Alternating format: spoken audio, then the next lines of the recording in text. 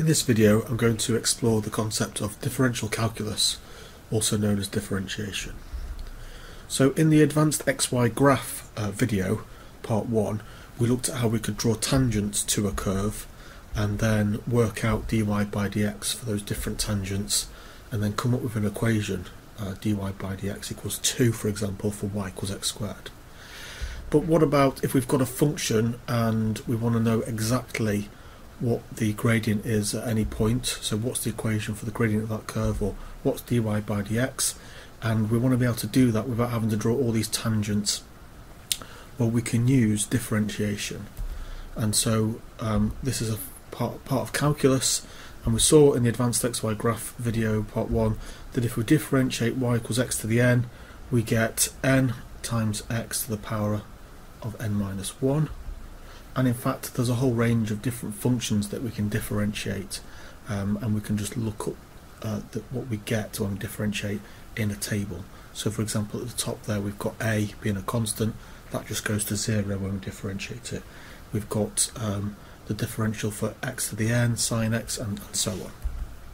So back to our function then that we want to differentiate. So dy by dx for this we need to differentiate each of these terms uh, individually. So for the first one, we get 3 times 0.06 times x to the 2, so that's just using what we've already seen before. Uh, the next one, we have 2 times 0.84 times x, so the power's gone down by 1 and we've multiplied by the original exponent, um, and it's negative because that was negative before. Uh, this goes to 3.6 and then the 0.4 just goes to 0. So overall we have dy by dx equals 0.18 so that's just 3 times 0.06 x squared minus 1.86x plus 3.6. So then we've got an equation that we can use to work out the gradient at any point along this line here. Okay, here's another example, y equals sine x plus 2 and we get this sine curve but it's been shifted up by 2 and if we want to know the, the, the gradient of this then again we can use calculus to differentiate. And we know that if we differentiate y equals sine x we get cos x.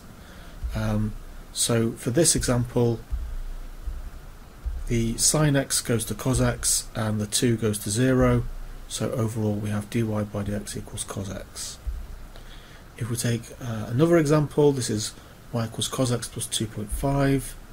Again, we can use calculus because we know when we differentiate cos x we get minus sine x.